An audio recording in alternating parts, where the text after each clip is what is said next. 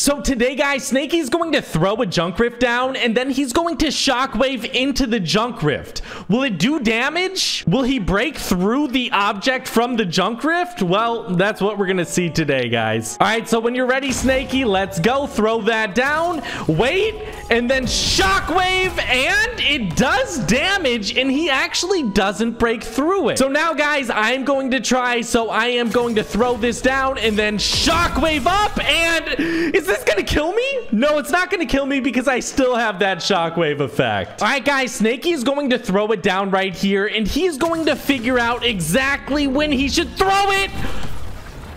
Whoa, that definitely bounced him a lot higher there. All right, guys, now Snakey is going to throw it down on me. I'm going to see if I can break through his because his won't do any damage to me. All right, there we go. I am going to shockwave now. And even then, guys, it just isn't going to break through it. Now, guys, for our final test, we are going to do it with an impulse grenade. So we're going to throw this down right here impulse up it obviously knocks us away and yep we'll see you guys later thank you so much for watching